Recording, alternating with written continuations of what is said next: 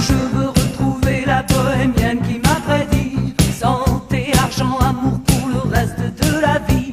Pour commencer, je suis plus fauché qu'un champ de blé et je suis mal à part, ça me fait d'y.